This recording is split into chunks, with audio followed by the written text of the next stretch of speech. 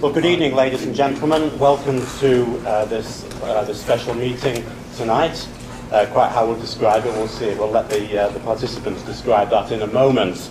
My name is Paul Taylor. I'm with, uh, uh, I work with a ministry called Creation Today, based in Pensacola. This um, meeting tonight is about a discussion about science and faith and ideas, and it will touch on all sorts of aspects in many ways, whatever the participants really want to uh, discuss on those, uh, those particular issues. This is a conversation tonight. So if you uh, basically imagine that uh, uh, there is a sort of coffee table here, and uh, the two participants are going to be having a chat, which we are privileged to listen into. Okay, that's, that's the basic premise behind tonight's conversation. On your right, on my left, is uh, Beth Purkhiser. Beth Purkhiser is a, um, a musician, a music teacher, automatically has uh, my, my sympathy from that point of view because that's uh, my background too. Um, Beth also thinks a lot and writes a lot and blogs a lot on the subject of, uh, of, of faith and on the, from the point of view of atheism. And uh, as she'll tell you a little bit about, uh, therefore, the background to, to tonight's meeting from that point of view. Eric uh, works uh, also with the ministry Creation Today, and therefore you're not an atheist, you're a Christian. And uh, Eric will be approaching this, therefore, from a Christian point of view and has been speaking on the subject of uh, creation and science for uh, some 13 years or so. So uh, that's tonight's meeting. As I said, I'm just going to be part of the audience now. Please treat both uh, uh, panelists with a great deal of courtesy. Enjoy yourself, relax. You're here uh, uh as an, an audience listening and eavesdropping on a coffee bar conversation. Please treat it in that method. Thank you very much indeed for coming. Well, Beth and I talked a little bit before, and uh, we said instead of really doing a debate, we'd like to kind of make this a window and then just let us enjoy a conversation with each other and let you guys eavesdrop in, as Paul said. So uh, we're going to get started on just having a little conversation. Later on, we'll invite you guys to ask some questions to either Beth or myself, uh, and uh, we'll kind of see where the evening goes. So we'll just kind of enjoy enjoy the time. Sound good? Cool. Well, I'd love to know. Um, I want to make you feel at ease. I'd love to know why you came to the conclusion of atheism. Obviously, there's probably a ton of stuff that you can give, but could you give me kind of a synopsis of if you grew up Presbyterian and you got siblings that are kind of everything under the sun, what led you to atheism? Maybe you could explain that. Well, I'd really like to preface this with, um, you know, I'm really concerned about science. That's how I got kind of into this. I want to make it very clear that atheism is does not mean you have to be an atheist to not buy into young earth creationism. You can accept evolutionary theory and you can be a believer. That's not synonymous. Um, how I personally came to be an atheist, um, so many things didn't make sense to me. Okay. So many things that the church was saying, so many things that. that and the uh, Bible. I read the Bible, just page, the front to back. Yeah. And now, tell me, what is, what is it that didn't make sense in the Bible to you? I mean, I'm sure there's plenty you could give us an example, but give me just one example of, okay, I don't buy that, and, and kind of the reasoning behind that. I don't buy the talking snake. Okay. Um, you know. All basically all of the supernatural stuff, huh? You know, yeah. you know, that's, that's you know how we all came here. I just it, I've never seen anything supernatural. Right. Everything I've seen has been natural, and it makes sense to me. The theory of evolution explains everything, and it doesn't have to explain everything. I shouldn't put it that way. There are things we don't know.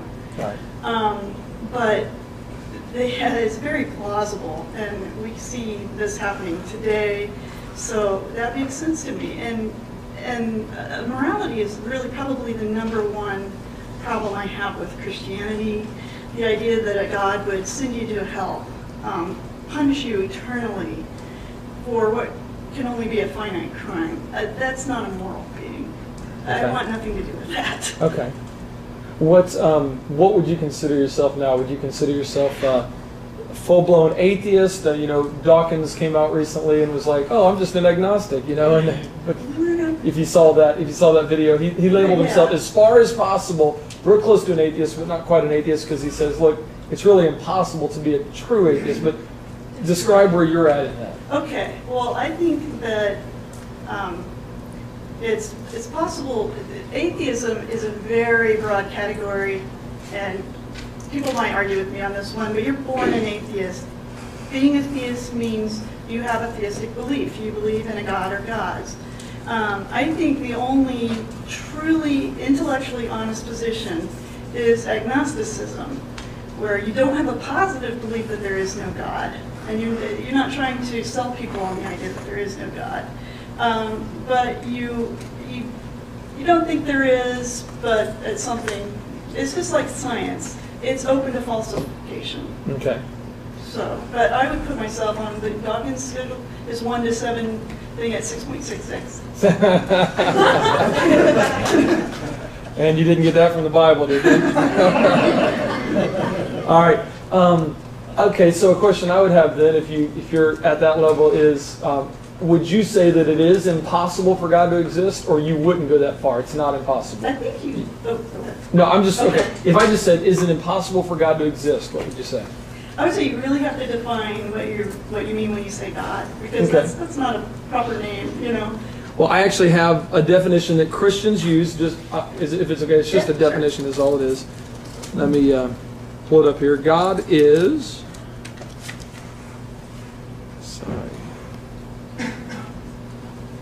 Just so that you know what I will be arguing for as well, because I don't want people to be confused.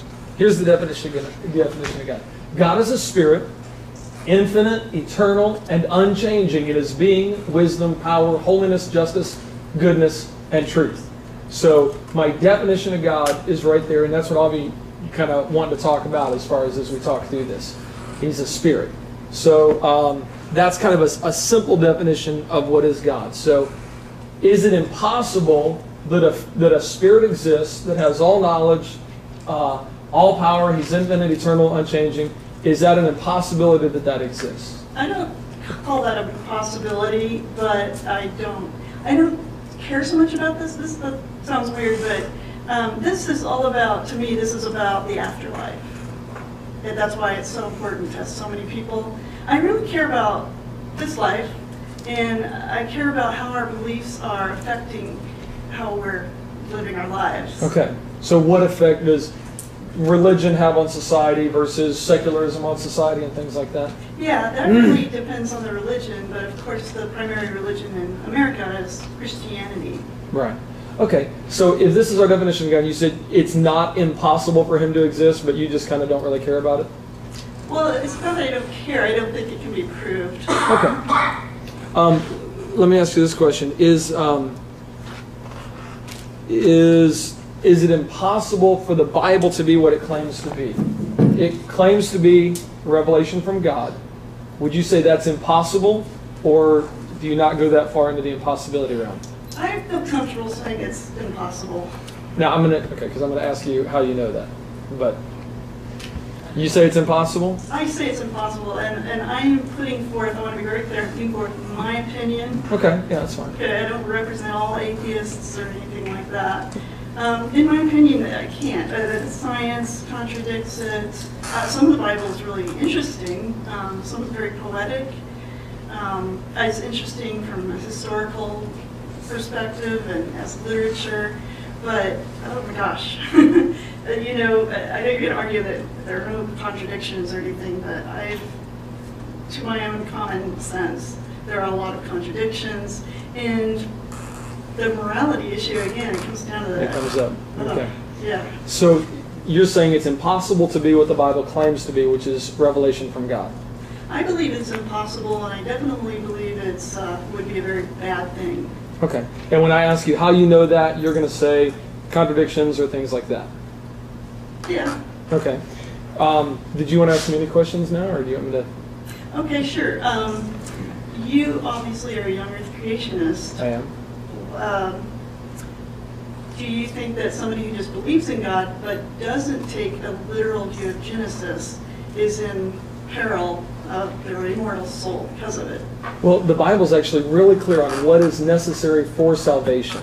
It actually keeps it really simple. It says you must believe that Jesus Christ is who he claimed to be, which is God. You must believe that he is, And uh, you must believe in the gospel that Jesus Christ died, was buried, and rose again. So if you have a misunderstanding that God used evolution when it doesn't teach that in his in his revelation, I'd say you're misinformed. Now, at what level do you actually have the wrong God? That's a good question. If I told you, well, Paul was just up here, and he's from England, he has actually met the Queen of England. If uh, if I went up to Paul and said, no way, guess what? I've met the Queen of England too. He's like, he'd be like, wow, that's that's impressive. I mean, of all the people in the world, not not a lot of them have gotten to meet the Queen of England. If I said, yeah, she is gorgeous, man, six foot two, all that blonde hair, my goodness, she is a knockout. He'd go, well, wait a minute. You said that's the Queen of England? If I'm not describing a shorter, older woman with white hair, he's going to wonder if I really have the right person. And so when somebody says, well, I think God did this, I'm going to say, well, if it doesn't match up with his revelation, with his revealed word, you actually have the wrong God. So at what level is it the wrong God and you don't have the right Jesus? That's a good question. That's a that make a great dialogue for a theistic evolutionist and a and a young earth creationist to say, okay, at what level is actually not the right God? But am I going to say that it's impossible for them to repent and trust in Christ as their Savior? No, it is not. Does that make sense? Sure. Okay. Um, as an atheist, though, since I don't have to go into the theology, um, are we in peril of being sent to hell by the Queen of England? No, we're not. From the Queen of England. Just no. ma- Just making sure. No, she can kick you out of she can kick you out of her country. Now, the one we do need to worry about is the King of the universe. He's the one who made everything. If he made it, that means he controls it. He owns it. He really can do what he wants. One of the things you said is, I don't think it's fair for God to institute a uh, you know um, an eternal punishment for a finite crime. Well, you say, well, what if all I did was tell a lie? Well, you think about that. You tell a lie, there's different consequences for telling lies. For example, if I lie to my son, who's five years old, and I say, no, son, you can't have candy because candy will make monsters come up in your closet at night. Okay, well, I just lied to my son. Was that right or wrong? It was wrong. What are the consequences of that? Not much consequence. What if I lied to my parents? What if when I was, well, and it did happen, okay? I lied to my, my dad one time. What are the consequences of lying to my parents? Well, same, same offense. I've lied to him. But now the consequence is he takes off his belt, I have to lay on the bed, and I get a whooping. Um, what if I lied to a police officer? Well, now, now I'm getting, it's the same offense, but it's who I'm lying to. What if I lie to a judge? Now I can be thrown in jail. And you say, Are you kidding me? You're thrown in jail just for telling a lie? It's not just the fact that it's a lie, that it's a finite uh, sin, it's who you've offended. So when you lie, especially when you lie to the creator of the universe, he does have a right to have an infinite crime because we've underestimated. Anytime we say um, that it's just, you know, I can't believe God would do that, we're underestimating who God is. So that's the way I would describe kind of why God can institute whatever fine he wants. And anytime we tell him that he's doing it right or he's doing it wrong, it's kind of like, well, whose morality are you using to determine if he's doing it right or wrong? We end up using our own morality and putting our own morality above the creator of the universe is morality. And that's not a good thing. But hopefully that answers that question in a way that makes sense. Well, this is exactly why I think it, uh, religions like this are so dangerous. You appeal to a morality that is different from ours, Different than And- whose? different from humans, like you just said. From humans? Uh-huh. Didn't you just say that? Well, I'm a human. ours. He has, he has morality, we have ours. No, no, no. I, I'd say there is only one morality. It's his. I mean, if it's So if based it's on. his, it's not ours. Oh, Okay, then it's not ours. So, where do we get our morality from? Um, we get our, it's an emergent property of, of nature. Um, I mean, where to get, where bonobos get their morality. Where do what? bonobos, uh, other primate species, they, we, we can tell they, they treat each other um, morally, even rats. Um, You know, we've done, we've done experiments which really, I think, puts our morality into question, but at least we proved that they can be moral. Um, You know, What, it's what would be your definition of morality then, and where does it come from? well, it serves an evolutionary purpose. um, to, we are stronger as a society than we are by ourselves. Um, we, I continually lie to you, you're gonna stop trusting me. And you're gonna let other people know, she's a liar. Don't deal with her. You know, there's, there's good reason for us to be trustworthy, um, to be uh, accountable to our fellow humans. So society kind of determines this. It just kind of evolves We with do. society. Absolutely, yes. So what do we do when one society's morality disagrees with another society's, mora- society's morality? Well, that's the problem with religion because these gods are really disagreeing. And they're causing a lot of problems. The You know? gods are? Yes. Now, obviously, I know one of your arguments is that for us to talk about God, we have to presuppose God. I want to make it clear that I'm just taking on this conversation um, as, just so I can talk intelligently about it. I definitely do not believe in your God. Okay. Now, the Bible says that you do, but you're suppressing the truth and unrighteousness. And I think I can, and, and this is just a conversation, but we, we can, uh, I'd love to go through a, a little example and just see what you think about my little, my little example, my little logical thing. But as far as societies being able to have morality, how do we determine which society to go with? In other words, when it's Hitler's morality versus America's morality, which, one, how do we, why do we call Hitler's wrong and ours right? Because look how it played out. You know? Um, It was played out great for Hitler. Not really. Well, it, it didn't, it didn't get to that point until America came to stop it. Right. So if America didn't, if America said, hey, his morality, he, they came up with that, then it never would have stopped, would it? Well, that's what's so great about political ideology is that it's got a reality check. It, it plays itself out and it's terrible. Uh, we get rid of it by war if necessary. Um, if if the the morality of the Bible, it doesn't have, it never has a reality check until you die, you know. And then if you guys are right, we're really screwed. Um, you know, but uh, but if we're right, none of us will even know. I mean, I really envy you guys that because we can't go, hey, I'm going to be laughing at you after you know after we're dead. Okay. Um, can I, can I take you on a logical journey real quick and see where it goes? Okay, let's try it. Um, just an important concept that I like to point out is if somebody says they could be wrong, then they don't really know, do they? Oh, this is a, knowledge claim. Right. If somebody says, if somebody claims something and then says, I could be wrong, do we really have that knowledge? Well, there's a difference between knowledge and opinion. Agreed. There's definitely a difference. Okay. So if I follow it by I could be wrong, then I'm no longer talking about knowledge, I'm talking about my opinion. Well, let me give you an example. If I said the speed limit outside on this road right here is 45 miles an hour, but I could be wrong, do I know what the speed limit is? Do I have knowledge of that? Well, see, that's what's so great about empirical tests. I can go out and look and see whether it is or not, and then it's knowledge.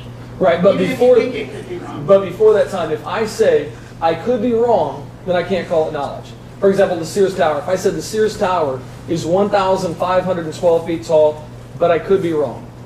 well, let's not confuse knowledge with facts. Okay?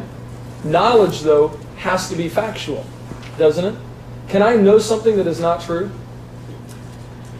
Could I know that Elvis Presley is the current president? No. I couldn't because knowledge presupposes that it's true, correct? I suppose I, uh, uh, making an observation here, um, when I'm watching your videos on this, this seems to me like gotcha rhetoric. You know what I mean? You- No. You're leading me into this thing where I just said something ridiculous, but, okay. No, I'm just trying to be. Um, I guess uh, there's. Not, I don't believe there's going to be a gotcha moment. It's just a a consistency thing. Knowledge must be true, correct? Can I have knowledge if it's false? I could have You a know, you can, actually, yeah. You can have the knowledge that, I'm not talking about knowledge that something is false. In other words, could I have knowledge that Elvis Presley is the current president if that's not true? you could have knowledge that there are three people actually believe that, that would be knowledge. So you could have knowledge in a way. But is it true? is it true that he's president? I don't think so. Right. And even if you had three people that thought so, could you say, well, then they have knowledge of it? No, you have knowledge that they think they have knowledge. Right. So if it's not true, can it be called knowledge? I got the definition of knowledge if you want me to pull that up. Knowledge is justified, true Right. belief. And words are what we use to communicate with each other. Words aren't reality, they're symbols of reality.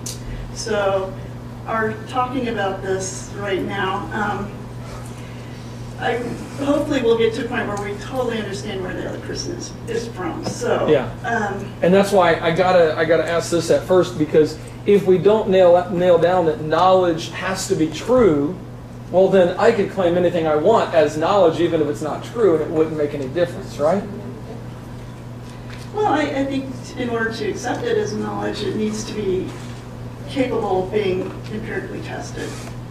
Well, of course, all all information is capable of that. So is is would you agree that knowledge has to be true in order for it to be knowledge? And I'm not trying to belabor this. I'm just going. To me, that it I- just seems like a simple suppose, thing. But, you know, I just think the knowledge of the day, and it can change when we learn more. But that was correct for that day. But if we but- find out that it was wrong, I'll go ahead and. then it then it wasn't actual knowledge. We dismiss it Wasn't as knowledge. actual at the- fact, okay. Correct. Okay. Um, out of all the knowledge in the universe, Beth, how much do you think you got? That absolutely cannot be quantified. So Okay. it is pointless to answer that question. If, you can just for sake of illustration, then let's just suppose that you and I together have one percent of all the knowledge in the universe. It's not that much. Can't even quantify it. We don't know how much knowledge there is. Um, it could be finite. It could be infinite. We don't even know that. Okay. But let's just suppose that we've got one percent of all the knowledge in the universe. Is it possible that out of the ninety-nine percent that we don't have, that something could contradict this whatever little bit, let's say it's 1% that we think we got, could something out there contradict what we think we know right now? Everything we think we know. Not everything we think we know. I Not everything? with that, no. No? No. And you have to keep in mind. So you do believe in absolutes? I, I do, I'm one of those. Okay. I don't go, I think this, this is where you get into almost like two, people speaking two different languages. Philosophers speak a much deeper language. You know, it's like they're considering every little contingency. So if you're talking to somebody trained in philosophy, they might actually answer that question differently. I feel comfortable sticking with the absolutes. Um, and So you're saying there's nothing in that 99, in, in that vast amount that you don't know, there's no way that something could contradict what you know right now? There's no possible way that could happen? Well, as you said, the only thing I can know is something that's true, so. And that's what I'm If getting it to. contradicts, then it wasn't knowledge in the first place. Correct. Right, so. So- I would like to point out too that knowledge is a little bit different from facts in that you can't have knowledge without having a conscious mind. And That's part of it, the subjective You can have experience. knowledge But- without a conscious mind? No, you have to have the, sub- you have to have a conscious mind to even have knowledge. I mean, Okay, if yeah, this yeah, I universe had, yeah, okay, Yeah, I agree with that. okay. Yep.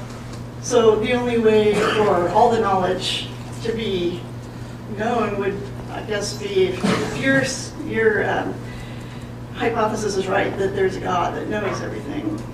Yeah, so I'm going to ask you that out of this 1% of things that you say, no, there's things in here that I can know absolutely for sure. How do you know that it can't be ever contradicted? I- To me, that I don't really care. I mean, it's just, this is going down the. uh, Yeah, but how, how do you know it? How, how do you know that what you have right now, the knowledge you have, can never, ever, ever be contradicted? How do you know that?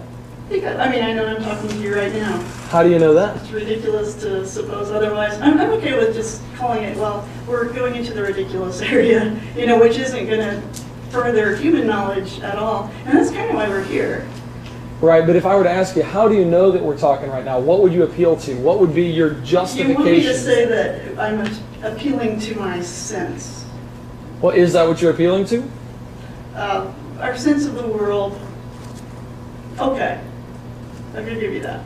So you're appealing to your senses that, hey, my senses tell me that we're talking right now, and therefore we're talking right now. Of course, that's how we apprehend the world. Right. So if we keep going back though to the infinite regress, how do you know that your senses are even valid? Well, okay, um, I, I know you got into this with Thunderfoot and, Yeah. uh, you know, he started talking about the basal assumptions. Right? Um, the universe exists. Two, you can learn something about reality. Three, models with predictive capability are better than models without. Um, to me, those exist for the purpose of keeping us from wandering into ridiculous conversations. That's why they're there. Uh, you know, because I, it's almost, it, it seems ironic to me that we're, we spend a lot of time talking about knowledge in this way, and, and your movement, it spreads a lot of, a lot of false information. So to me, your, the young earth creationism is impeding knowledge, and, and that's very bad because I've got students who, they come home with more homework than I ever had in my life. Yeah. You know, our human knowledge, we get, we know more and more, so the kids have to know more and more. And um, so this young earth creationism stuff that contradicts what we know to be true in science is uh, it's, it's lowering our knowledge. But I'm, I want to find out how do we know what we know before we even go there? Because if you, if I said I know God exists because God exists, would you accept that? No. No. But You- I, I would accept that you believe that's knowledge. okay, but would you accept that as truth? I wouldn't accept that as true. Okay. When you tell me I sense that my senses are valid, should I accept that? You can if you want to, you don't have to. Is it a valid argument? That, that my senses are. my If you senses- sense that your senses are valid, because you said, I sense that we're talking, I'm using my senses. I said, how do you know your senses are valid? And you kind of said, look, that gets into a, a rabbit trail. If I said, hey, Beth, seriously, if you're sensing that your senses are valid, that's a circular argument. Are you okay with that? Are you okay with circular arguments? Are circular, circular arguments okay? Look, the senses are how we apprehend the world. Um, Are everybody's senses valid? Are there people that have invalid senses? This was uh, irrelevant. No, it's actually incredibly relevant Okay. because if I, like, for example, if I ask you, and this is just, again, I'm not paying attention to the audience. I'm just going, hey Beth. Mm-hmm. For example, if I said, is everybody's reasoning valid? Beth, is everybody's reasoning valid? Some are better than others. Okay, but not everybody has a valid form of reasoning, do they? Which is why it's so good to check with other people to get consensus on things. So we're gonna, and what do you use to get that consensus? You use your reasoning. You're using your reasoning to validate your reason. And you're using your reason to reason that I'm reasoning. But I've got an avenue to You just- certainty. You're just making two trips around the circle instead of one. Not really. I'm actually showing that if you stick with just that model of I know I exist because I exist. I reason because I reason. My senses validate my senses. You it's it's a flawed argument. Okay, It doesn't account for reality that we see today. okay. Well, I understand that's your view. Well, it's actually it's actually true. It's not just my view, it's actually true that that's a flawed argument. Okay. So, what would you appeal to outside of your senses and your reasoning to validate your senses and reasoning? I would um, suggest that if this is off the topic, um, and that what people believe is affecting how the, the quality of our life here, Okay. right? And you're, I am fine with you believing whatever you want to believe, really, that you should have the right. Um, and I don't, that's why I don't try to spread atheism. Um, you know, I, I don't try to make other people atheists, even though I'm a big mouth. I was gonna say, hang on, your Facebook page, you are really, really, really trying to promote atheists. I'm putting mine too out there. I'm not, I'm not, Why would you I don't do think that? I've ever, ever converted a single person, so I guess that's why I'm a big mouth. Just, they're not gonna believe me anyway. You know, the people that interact with me are already other atheists. But we are really concerned with this movement of yours. Uh, And uh, we're really concerned about, again, I don't talk about all atheists, but my crowd. Um, we're concerned about that your, your Bible is, is telling you that, that homosexuals can't get married, for instance. We're very concerned about that. We, we think that all of our citizens should have equal rights. We think, uh, we, we are concerned with animal rights, and we, we do accept our senses uh, to tell us these things. So, so what? But, but when I get down, I know you're skipping over though, you're saying, I don't have to have a foundation for my worldview. I can just Right. have my worldview. And I'm gonna Okay. argue, your foundation is actually founded on the laws of logic, Okay, the- that, founded on uh, the laws of mathematics, the laws of science, the laws of morality. We all appeal to these things.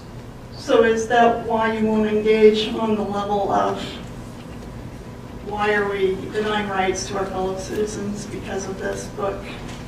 Oh no, I got no problem engaging in that. that. But the problem is, if you if you can't yet make sense of your worldview, I'm going to keep challenging. Hang on, before we talk up here on any evidence or anything like that, let's find out if our worldview actually makes sense. My worldview makes sense to me and yours makes sense to you. Okay, if they're contradictory, can they both be true? No.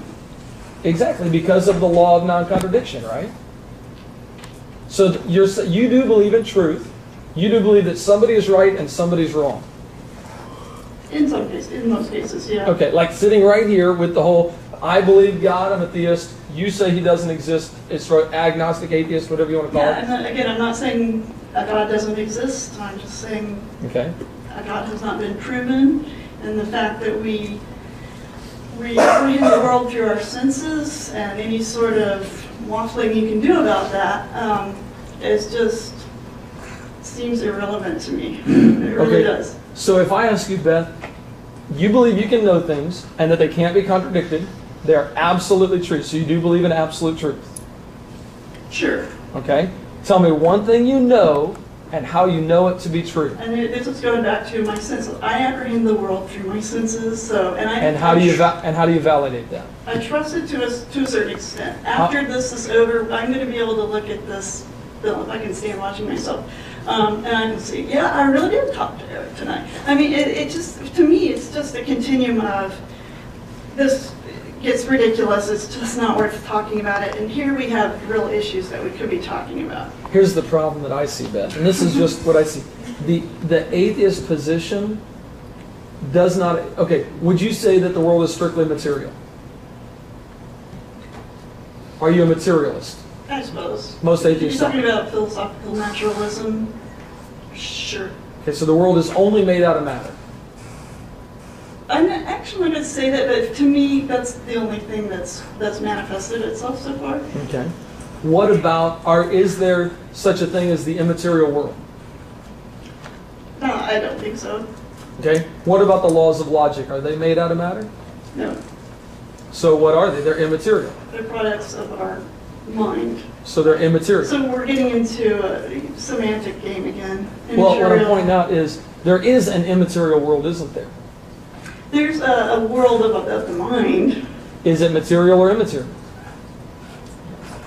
Imma- I guess immaterial. It's Okay. not spiritual. Like, it Okay. just depends. You know, one of the problems of, of language is we have a lot of different definitions for most words.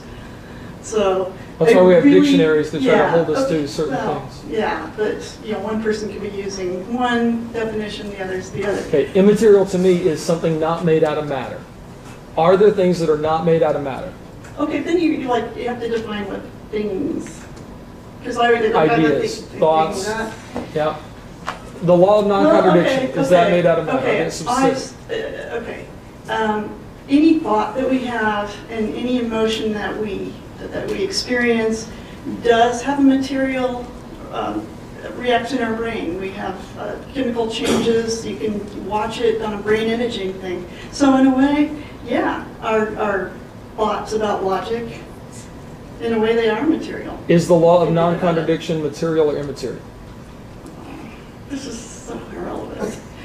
Well, I see it as incredibly relevant because for a materialist to say, most atheists are materialists. They'll say, hey, the natural world is all there is, the material world is all there is. And I'm going to say, well, the immaterial laws of logic, the immaterial laws of mathematics, the immaterial laws of science, they all existed, whether they exist whether the material world is here or not, right? um, laws of logic, blah, blah. Yeah, actually, no, I, I think they have a subjective nature to them that. So man invented the laws of logic? Man understands them. Man is here to have that subjective experience with the material world. We are material. Um, and we, that's our understanding of it.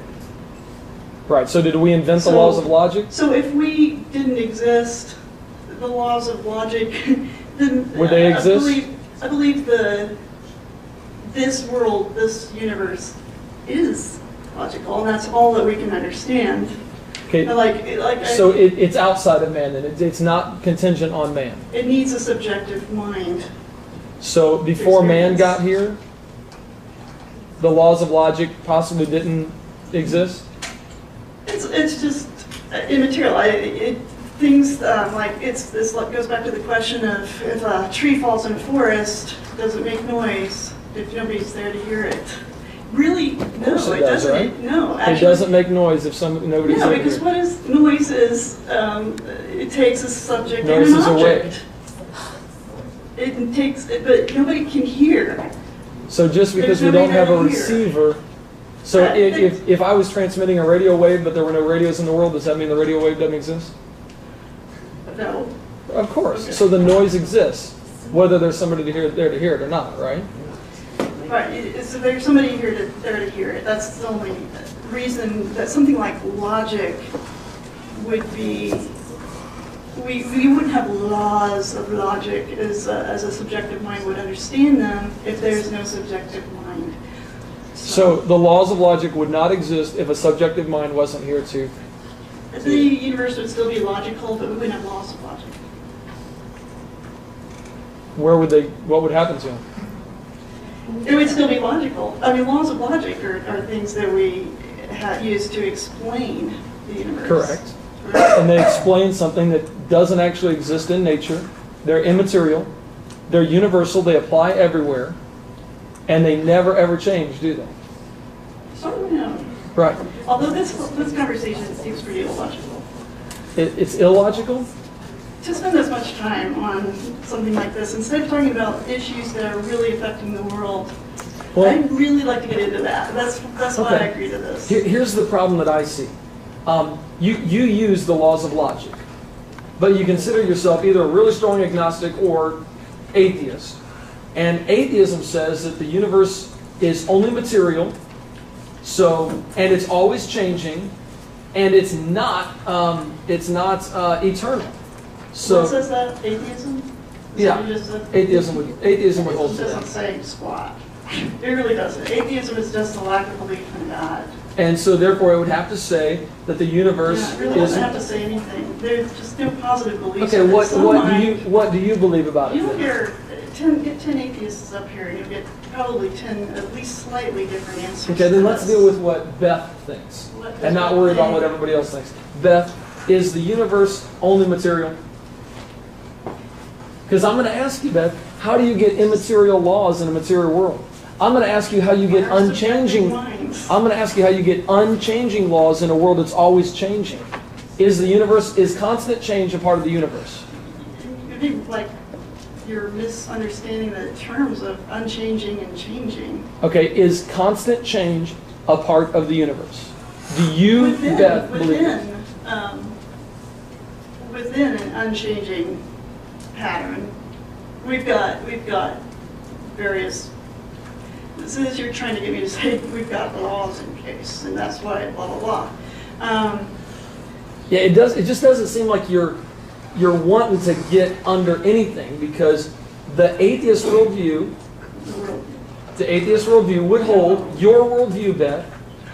Your worldview would, okay. would hold that the universe is only made out of matter, that it's constantly changing, right? Yeah, I mean, you sure, of course it changes. And that it's not necessarily eternal. No, It it's had- not necessarily eternal. Okay. We, we only have, we have space-time, and it's, Right. and we wouldn't have time if, if the universe didn't change. Yet you use laws of logic, laws of science, laws of math, and laws of morality that are universal, immaterial, and they don't ever change. I'm asking how can your world, which is exact, your worldview is exact opposite of everything you use laws of logic, laws of mathematics, laws of science, and laws of morality. How can you account for those things? Because everything you're going to give me is okay, science says this, morality is like this. And I'm going to say, hold it, hold it, hold it. Beth, your worldview can't even say that there is a universal, immaterial, unchanging law of math, logic, science, or morality. Okay. It, it, it, it can't even get off the ground to even have that discussion. I brought something in case Okay. this conversation went this way. Um, I- This is thanks to concordance on the Magic Sandwich Show. Because it it sounded pretty, uh, pretty intelligent, and I'm, no way am I gonna sound this intelligent. Um, The problem is, you don't account for an objective and absolute moral, scientific, and logical law. If God exists, we can't use our reason to prove he or she doesn't. We can't account for reason in the Christian worldview because you can't account for objective logical absolutes. In your Christian worldview, the laws of logic are subjective and limited because they are contingent upon a God and not the other way around. You said yourself that you, sur- you surrender your reason to this being. You would have to accept anything, no matter how illogical. Two plus two equals five, for instance. It's a subjective set of non-absolute laws, so every argument you begin to make is dependent on whether the subjective laws of logic apply. You can't reason about your God because your laws of logic don't have to apply to. Your logic is of limited scope. Every logical law has a potential exception. That is the God you have surrendered your reason to. Now, do you believe what he just said there? Does every logical law have an exception? Definitely not. He's describing your worldview, where a God exists who can be logical and illogical at the same time. No, our worldview does not teach that. So he's not describing my I worldview. heard Sight and, and Gate, whatever his name say, and you guys, I'm, I'm gonna uh, just compliment you. You guys are very clever. I think that you've done a fantastic job of understanding that, for instance, um, the theory of evolution, you've done a fantastic job of knowing how to attack that. Uh, without knowing science, you know, very sophisticated knowing how to attack science. Um, and this stuff is, is very clever too. Um, Well, and Beth, I gotta say, my goal is not to attack science. I love science. I, yeah, I, I agree with science. I, I really do. Well, let's talk my, about science, My honest we? goal here, Beth, is Talking I snake. care about people. Yeah. Okay. If somebody was, if the God of the Bible, who is all powerful, could he make a snake talk? I care about people too, which is why I wanted to talk about how human is affecting education. Could an all powerful rights, God, Human rights. could an all powerful God make a snake talk? that's why I don't believe in all power God. I'm, it's, it's Let's let's get right down to the heart of this thing, Beth.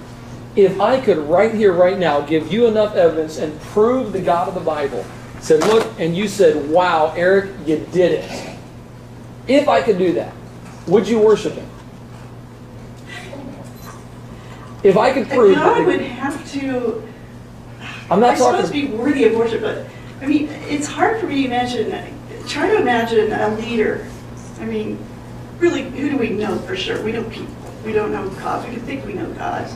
Um, would you want to follow a leader who wants your constant worship and uh, hey, you better be grateful to me and and that just seems rather odd. I just can't imagine that a, a God who would create this entire universe would be concerned with our every. But see, it's actually the exact opposite of that. Okay. It's not that, it's that he is worthy of that. And he is. Does he send people to hell? He created everything. Did he use evolution to do it? No, he didn't. He didn't use evolution to do it. Why not? Why didn't he use evolution? He chose not to. He told, told us exactly how he did it uh, in his revealed word. And that's why I still want to ask you, I still want to challenge you on could you be wrong about what you know? Because if I said I know something absolutely for sure that God is God, you're going to say, well, how do you know that? No, I'm not. I'm say that's fine. But Okay. let's talk about I know that God is God.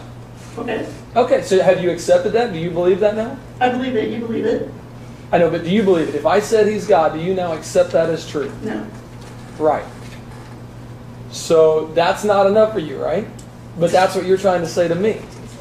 That's, I don't say that you have to believe me. I'm not. I really not trying to sell atheism. What I'm trying to sell, or really, I didn't, you shouldn't even word, use that word sell. So my stuff's for free back there.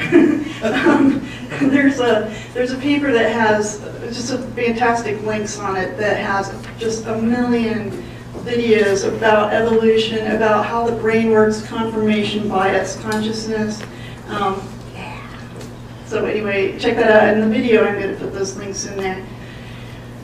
And I still got to ask, is all of that absolutely true and it can never, ever, ever be contradicted? Science is falsifiable. Okay, so you don't know. if it can be falsified, then you can't declare it as absolute truth. I don't care about declaring it. I think that we can meet as, as adults and discuss how we can live together more peacefully than, com- you know, having these fights over, well, evolution didn't happen. I really want to get to that. We've been talking about this for close to an hour. Yeah, Evolution, microevolution versus macroevolution. What do you have to say about that? yeah, I would I know say. you dined into this. I would say debate or conversation, uh, discussion presupposes truth, it presupposes facts, and I haven't quite found out if you're saying yes, there are absolute truths or no, there aren't.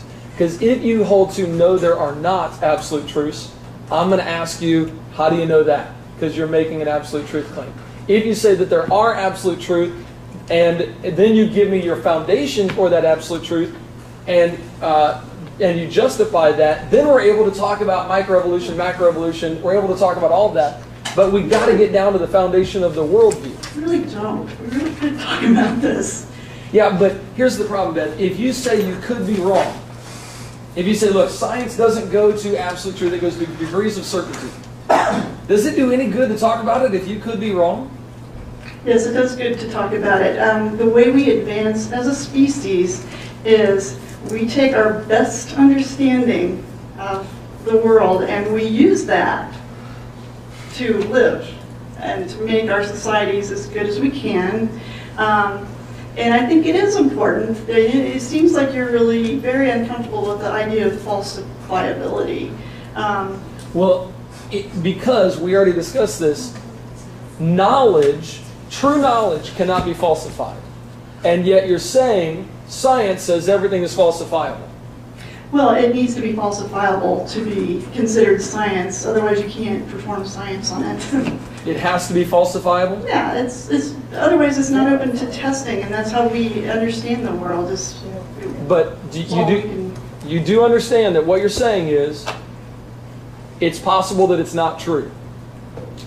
It's not possible that everything that we've figured out is not true. It is not possible, I'm Is sorry. everything falsifiable? If we get new evidence, that's a little bit more open, it, but the probability, I think that's what we get down to probability. What's the probability? Let's say you've got a, somebody on trial for murder, and the evidence is he copped to it. I just blew that guy away, he deserved it. He's- You've got DNA evidence. You've got a video of him, and you've got 100 eyewitnesses. Um, Is it okay to say we have knowledge that guy is guilty? There's such a thing as a, an overpreponderance of evidence that it, we can say, okay, maybe the apple is gonna come up in the sky tomorrow rather than the sun, but does it do any, does it do us any good to discuss that? It's so, so ridiculous that it's not worth taking time to discuss. But it, knowledge has to be true. So if you you're about to talk about stuff that you say, this is all falsifiable, I'm going to go back to your very worldview and I'm going to say, but Beth, if it all could be wrong, um, like for example, is everything falsifiable? I The claim, that, the claim that everything should be falsifiable. no, it, it needs to be subject to falsification in order for us to make claims about it. Is that subject to falsification, what you just said? This is just silly. No, I'm No, I, asking. I'm really serious too. Um, we've talked about Is this that for a while. I.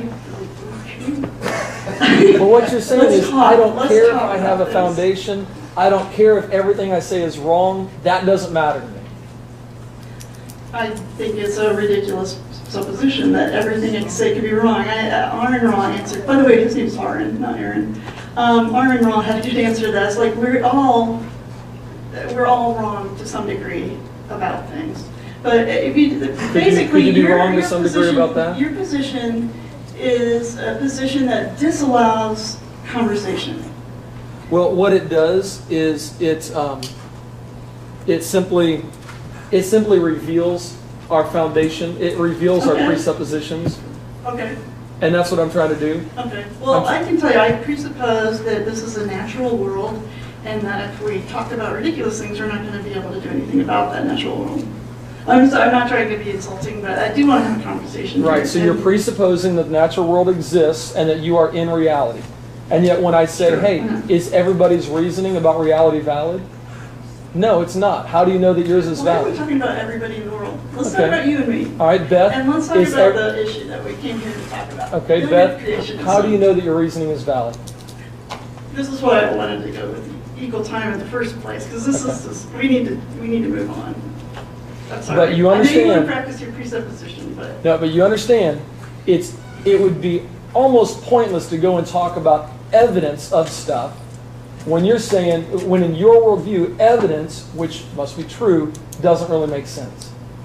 evidence makes sense to me. Well, let's put it that way. Okay, but can you justify it is the real question. Yes. And that's what, that's what I've been trying to get is Okay. your justification, My and that's what I haven't. My, uh, let me give you my justification. My justification, just so you understand where I'm coming from, is that if we do not have revelation from the one that knows everything and the one that cannot lie, then we're forced in the position of saying that we don't know anything. Okay. Now, you're Now, saying that you you're know things, but you're not justified. See, this is, you are saying that atheists say that we can't know anything. You're the one who's saying that. I don't, I haven't heard any atheists say that, and I'm not saying that. Um, I've heard lots of atheists say that, and that's why when you say no, we can't. Okay, truth. You say we can know things to be true. Can you give me a definition of truth? I already told you, I, the truth is I find this line of questioning um, irritating and irrelevant. Because it's exposing the foundation that your worldview doesn't have. You think that, and you could, you're welcome to think that. I think that we have real issues that we could talk about. So what is truth? What is um, your position on microevolution versus macroevolution? Would it do, would it do any good to talk about that if we don't even know what truth is? Yes, It would? yes, How, yes. Remember, we're having a conversation here. This- No, this- Hands, would it, would it be worth talking about evolution? Appeal to majority, logical fallacy. You want me to, I thought we were gonna have a conversation here, Beth. We're not having a conversation, you're keeping us from having a Well, conversation. no, what I'm trying to, okay, before I can say what micro and macro evolution, we're presupposing that there is something that's true here, and that's why I'm going, okay, before we get there, if you're willing to say, you know what, Eric, I'll admit that I'm borrowing from your worldview, then we can move on to that stuff. Yeah. Until that point, it's really, it's really pointless. Okay, uh, then we're, we can't have a conversation, I'm sorry. That makes it really tough, doesn't it? So what is truth? The truth is, we need to talk about things that matter, not word games. Uh, I'm this is not- I'm great. not This playing is- word I mean, games. This is fantastic. I mean, it's, it's a way to sound like you're making a logical argument Well, I am making a logical argument. to you. Well, what is- what is truth? What is logic? I mean, you, you've said that things should, can be falsifiable, and I'm asking if that could be falsifiable. And you're, you're just, you don't want to engage is- in any of this. This is gotcha rhetoric. I don't That's want to, right. and I don't want to continue. You- That's right. Well, in, in, in a, in a that logical, in a lo, I wasn't going there earlier. In a logical, in a, in a logical talk and logical communication, it is because the Christian worldview, Beth, is the only one that can make sense of the reality that we see today. It might be the only worldview that makes sense to you. It doesn't make sense to a lot of people. So I'm going to go on. Um, I want to point out that there are more creationists in the world who believe in a different creation myth than there are Christian crea- creationists.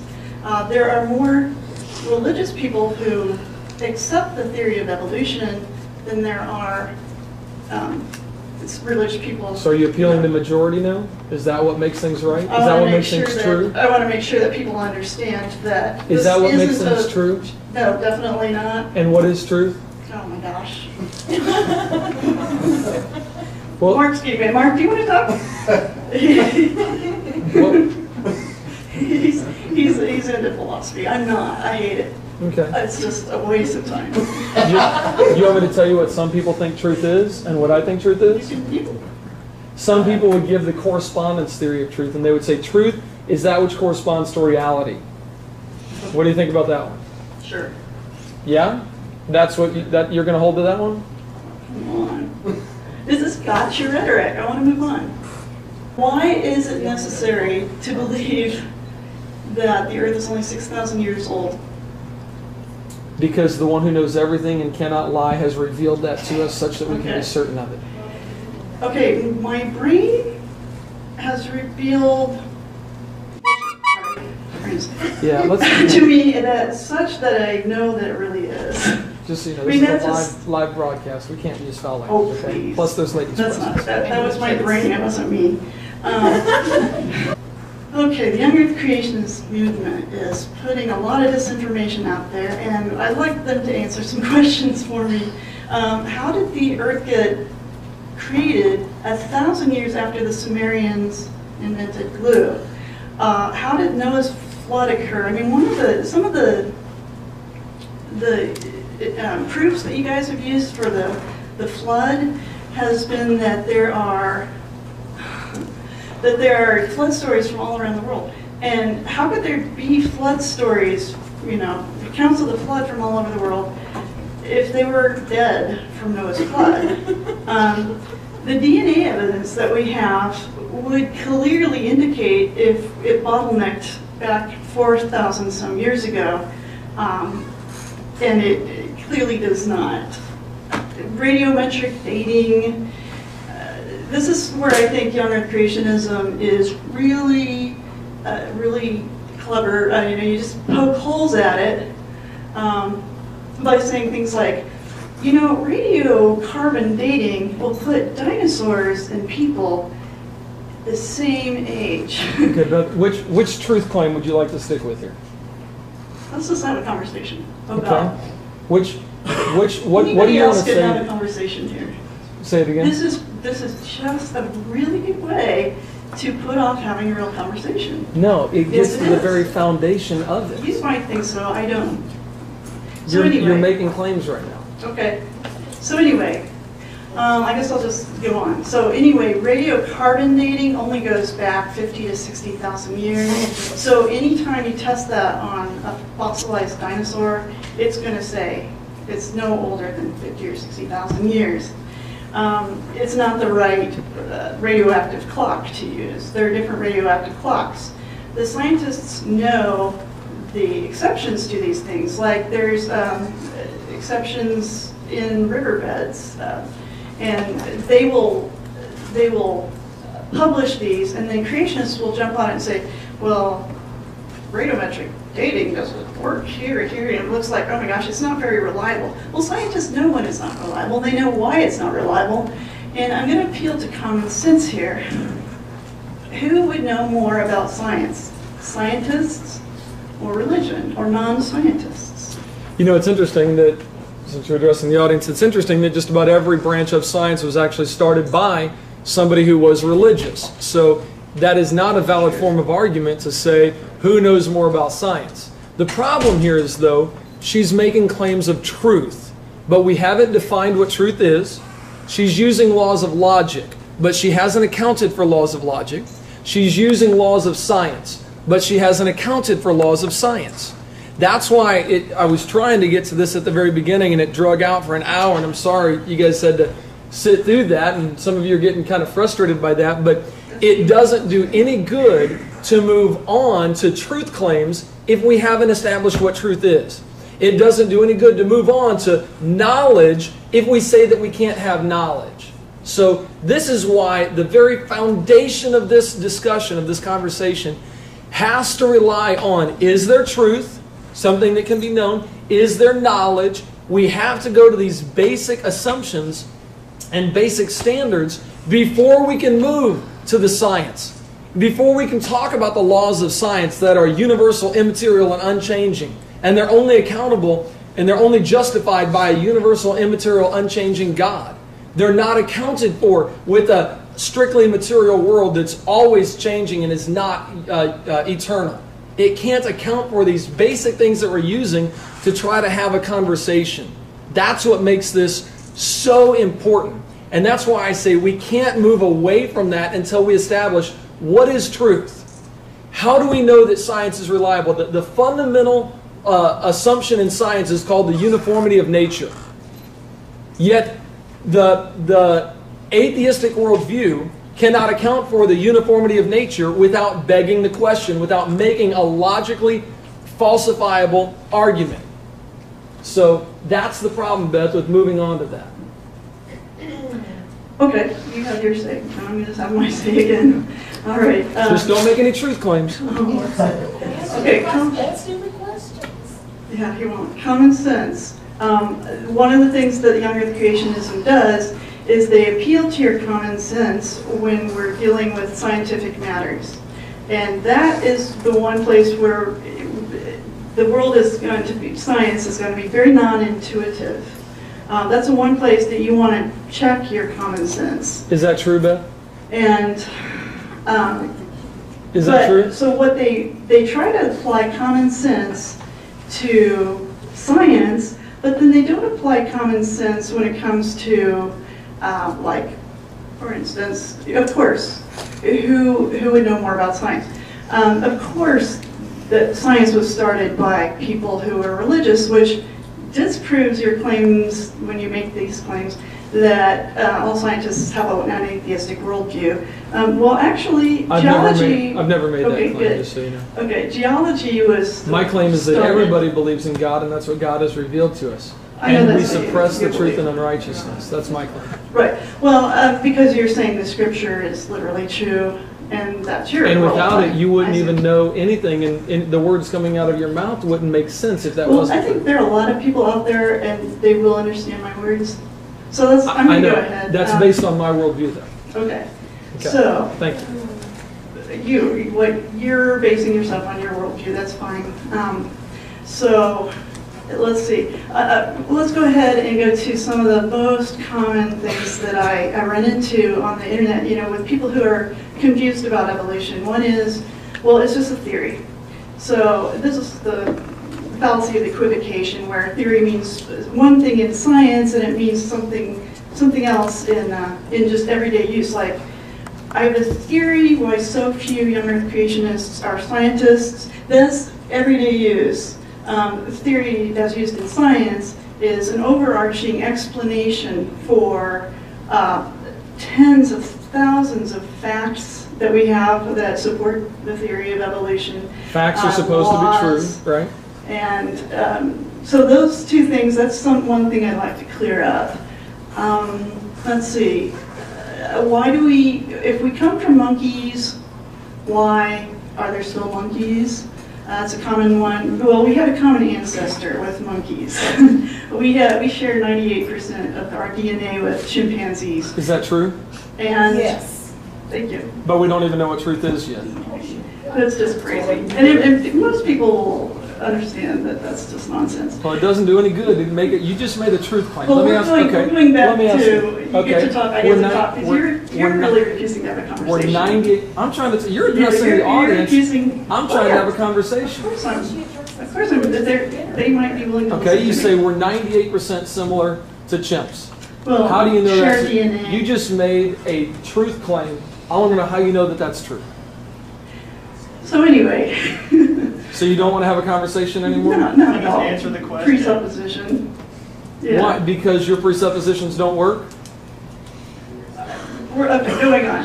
Um, I can- I they can see why you wanna- That one I can see why you want to avoid that, I can see why I wanted to, why you, I asked you not to interrupt me over and over because it would throw me. And you said, oh, I won't do that. Well, you began doing that, we also said we were going to have a conversation, and you began talking to the tried, I tried. We had an hour to talk about presuppositionalism. So you want to lecture now? I won't what you start want you, I won't, I won't start this conversation until you admit I'm right and you're wrong. And That's so not a conversation. yeah, let's have a conversation, let's start it with our perspective worldviews. My worldview says absolute truth exists. What does your worldview say, Beth? I- My absolute worldview is that your movement is harming our country. Okay, that's a truth claim. How do you know that to be true? I Absolutely true. because, because homosexuals can't get married. Why do you have the right to stop them from getting married because you happen to believe it's absolutely true that your God is true? Okay, you can believe that. What do you know to be absolutely true then? Name one thing that's absolutely true. Yeah, I'm, I'm comfortable saying scientific fact is true, absolutely But you just said that to do science, it has to be falsifiable. If it's falsifiable, That's how we know it's it's not true. necessarily That's true. how we know. Facts, once you get to be, you have facts, those are facts, those aren't falsifiable. Theories are, are falsifiable. Well, you're not Um, justifying your position, Beth, and that's So the that's, problem. that's okay. You don't Um, have to justify your position, so I can say whatever I want without justifying it, and it's okay. Okay, Is that, that's what you just said? Sure. You said it doesn't matter. I think that, that most people will understand what I'm saying. I think most people understand that we haven't gotten the justification for our belief system from, from you. I've justified mine. I've said, I know what I know based on a revelation from the one who knows everything. I'm asking you how you know what you know, and we've gotten nothing yet other than it doesn't matter, that's ridiculous, that's silly talk. So I know what I know based on revelation from God. How do you know what you know, Beth? I know what I know. How do you know that? It's, well, let me answer. Um, uniformity, facts that are, that remain facts.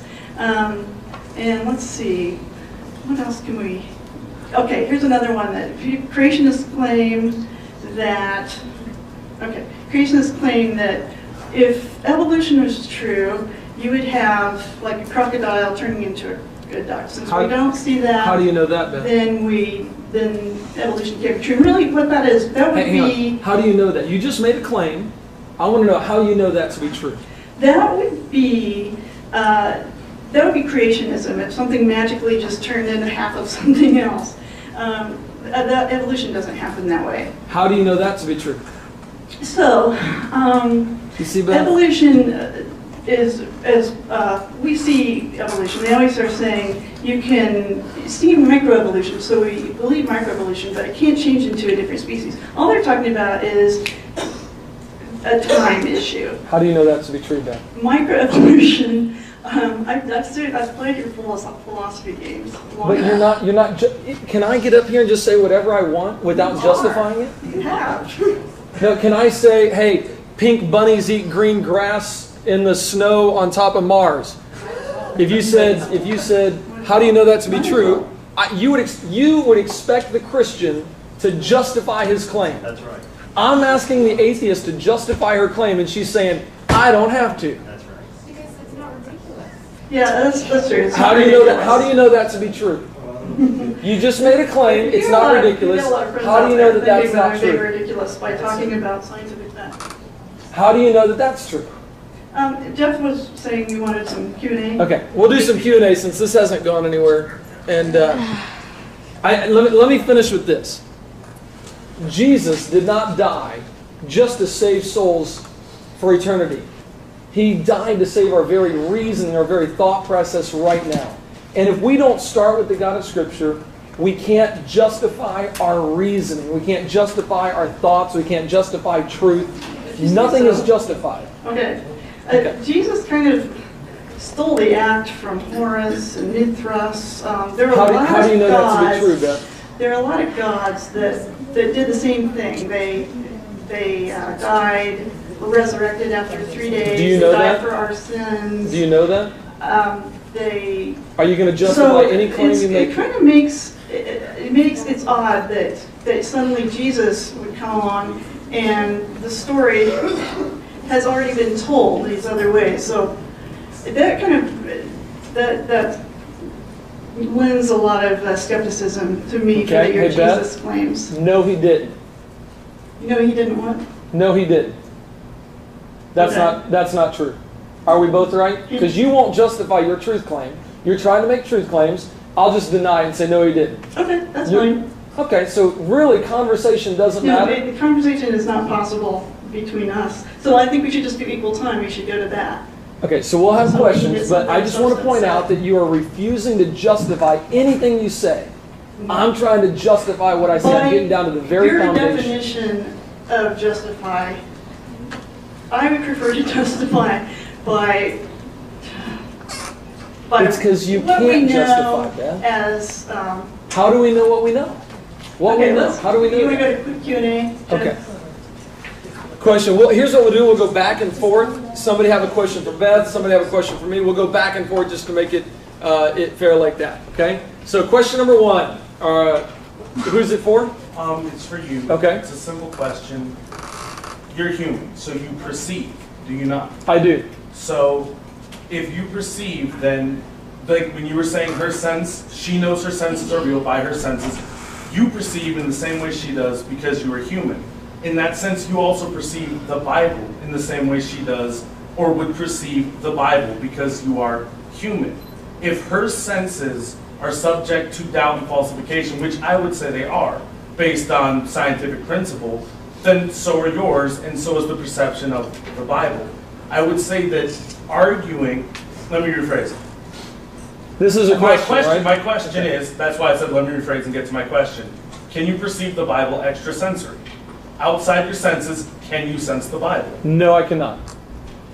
That's my question. Okay, the answer is no, I cannot. Let me ask you something. Please. Is, well, I guess we're taking questions. Yeah, that's why- Let, let me just follow that up with a statement then. Um, if, what you just claimed was you would agree that you sense that your senses are valid, right? My senses are my only tool. Could your senses Everything we be, perceive is what we perceive. is it possible that your senses are not reliable? That is more than possible, but it's Okay? possible So for how do you know that, how do you know that they're not deceiving you right now? evidence. I know through repeatability. I can say this bottle is What- here. I can drop it, pick it up. I can say it's here. I can't know this is here, but I can. There I say go. I know it's here. No, you based just said you can't. I, I say I know it's here Rhetoric. That's based on. using. Hold on. I say I know it's here based on preponderance of evidence. In What are you using grand- to interpret that evidence? Tactile? I'm using my sense of touch, There we go. We're using our senses to validate our senses. which is. And that's how all humans work. Okay. You can't perceive outside Is- of sensory input. Is that circular?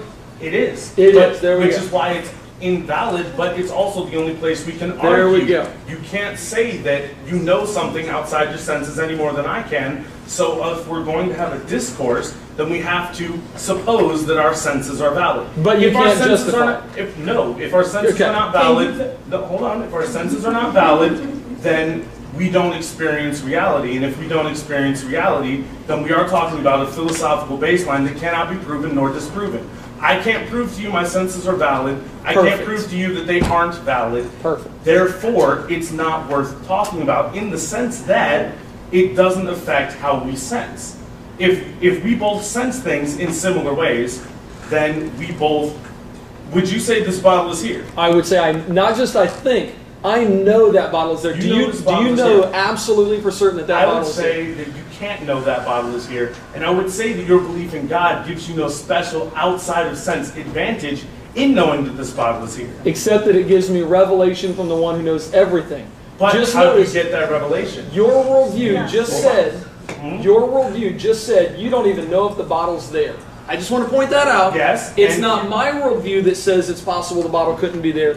It's the atheist worldview that says the bottle could possibly not exist, could not be there. Just want to point that out. infinitely small possibility. Hold on. It's an infinitely small possibility, but yes, my worldview says this bottle may not be here as I perceive it. However, you perceive the same way I do, so your God may not be there as you perceive it. So unless are- you perceive differently than me. Are all things known through the senses? Are, is everything we know, is it all known through the senses? Everything we know is through the senses. Not all things are known through our senses.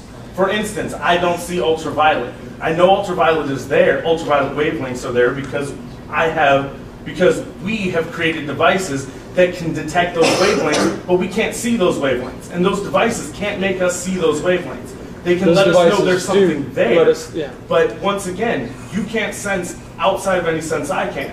Now, if you can, please tell me that you can, and then that's the basis of your No, claim. that's not my claim. Okay. My claim is, my question is, is your claim is that all things are known through the senses, other than okay, we might have to get you know a, a piece of equipment to help us sense those things. But that's known through the senses as well, But in the sense that we can then we transform information into a perceivable wavelength, Okay. and then we can sense it. okay, so what I want to know is if all things are known through the senses, where did you sense that?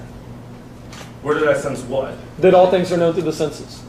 Once again, circular. You just said like you, I can't justify it. it's circular logic. So Right. oh, then it must be false.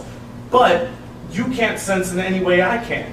The reason I think this is um, not unuseful discourse is that The same way that I can say, I don't know this bottle is here, or you can say to me, your worldview says you don't know this bottle is here.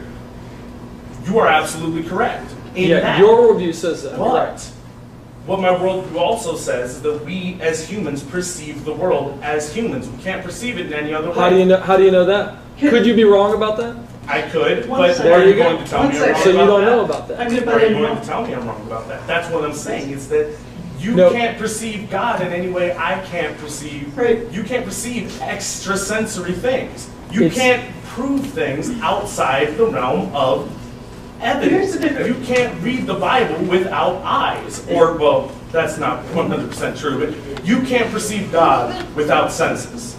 Yeah, And your senses, just like my senses, are subject to falsifiability. And Here's the my only claim here Okay. is that I have an avenue to certainty of my Okay. senses, I understand that you and think you're that. saying Through your senses. there Here's- is no avenue, here's no the by, re- difference no by revelation from God. By God. revelation from God in Here's the the difference, uh, real quick point. Here's the difference. The- The atheistic worldview that, that he's talking about, I'm talking about, it's just, we're being honest and you're making claims that are dishonest. Okay, be honest here.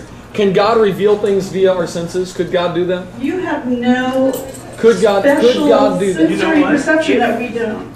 Could We're- God We're just being reveal- honest about it. Okay, If- answer this question honestly then. Could God reveal himself through our senses? If you, if if there exists an omnipotent and omniscient being, I would say, which is why atheism is not universal, I would say he could reveal himself through our senses the same Correct. way that ultraviolet light can be revealed to us without our senses. But here's the problem. You can't do this without evidence. And you say that the Bible is evidence. I would argue that the Bible is the claim because the Bible was written by man. The Bible has been translated by man.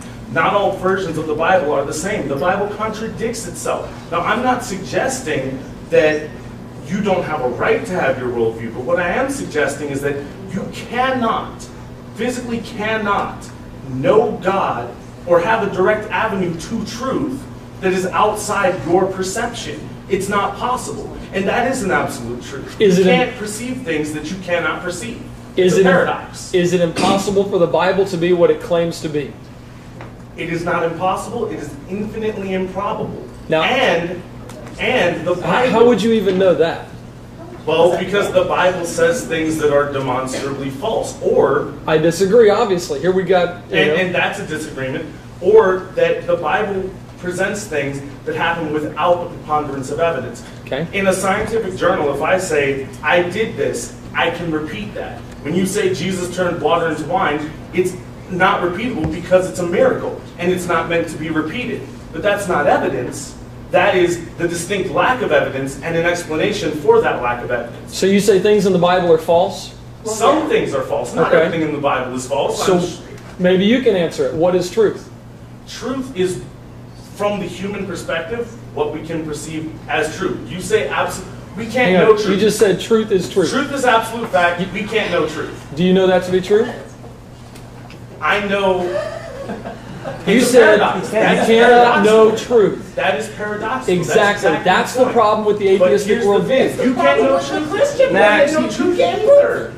That's So the point. is you that just it's said- paradoxical for us to know truth because we know our senses are fallible. But So it's you the said- same okay. set of arguments for the belief in Christianity or the Bible.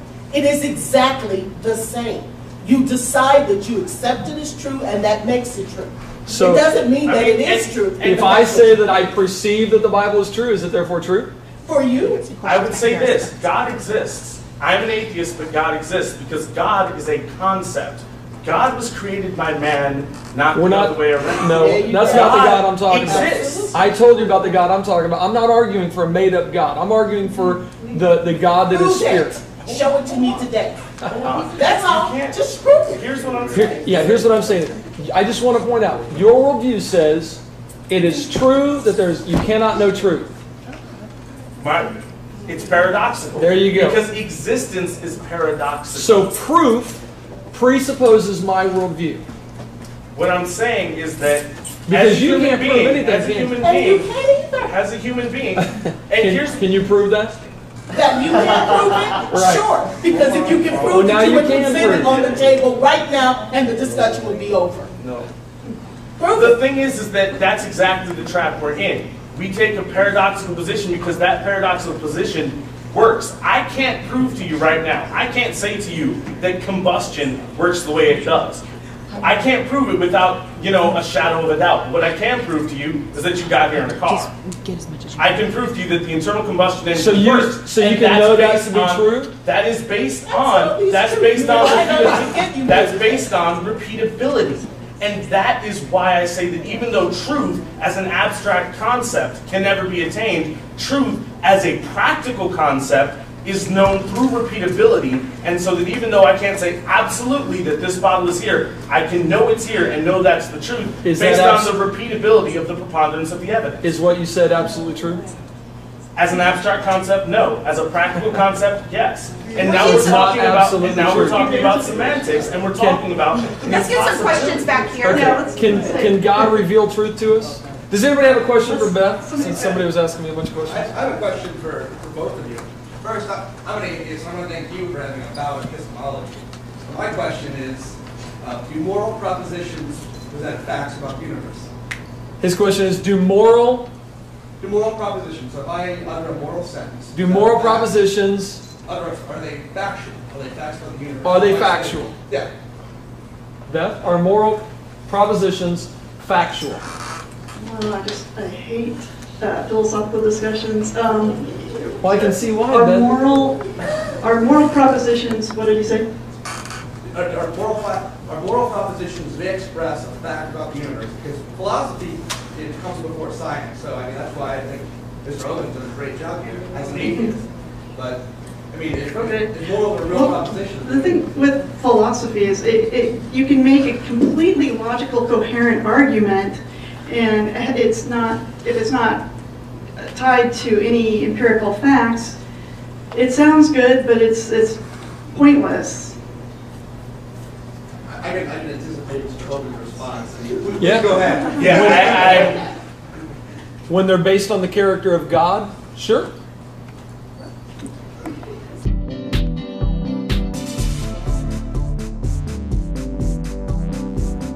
You can follow me on Twitter at twitter.com slash Eric Hovind.